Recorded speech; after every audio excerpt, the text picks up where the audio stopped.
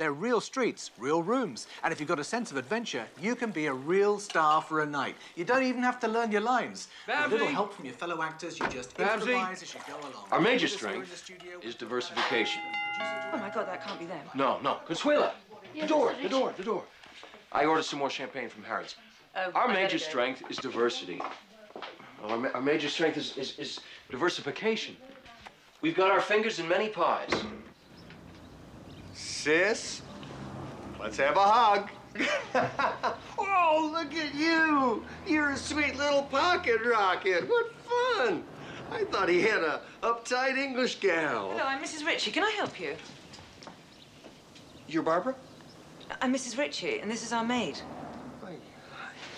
Is that our champagne? No, it's just some shirts and socks and a couple pairs of oh, jeans. Oh, my God! I know this guy. Oh, Wally! Hey. Wally, Wally! Hey. Look at you. Look at you. You're still the ugly brother, thank God. Barbara, this is my brother, Wally. Oh, hello. Pleased to meet Sorry you. to scare you like that. No, what are you doing here? Well, today's my birthday, and I Oh. thought you might not remember, so Oh. I came over to get my presents here. Oh, Oh, happy lovely. birthday. Consuela, set another place for dinner. Great idea. No, no, bad idea. Wally can't be here tonight. Oh, why not? He seems very sweet. He is sweet. Yeah?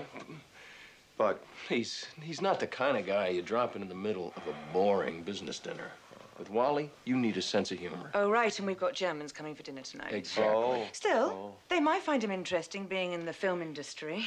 Oh, Well, Well- not, it's not exactly the film industry. Uh, it is, and it isn't. It is. I- I'm with Blockbuster in Des Moines, Barbara. Oh, so you're not a producer? Not, No, exactly. no. Not at all, No, really. no Be- way. Uh, it's just something I say to people. Something we all It's say it's a funny. family It's thing. just something that I say. Joke. All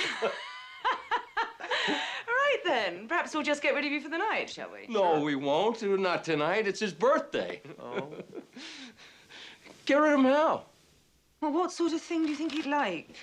Drama or a musical? Oh, he likes it all. He wanted to be an actor. He he got the lead in our high school play, but on opening night, he he. I never thought anybody could forget so much so fast without a severe blow to the head. Oh, damn, then this won't work. What? Theatre of Life, it was on TV just now. One of those sort of audience participation things. Oh, that sounds really embarrassing. Pity.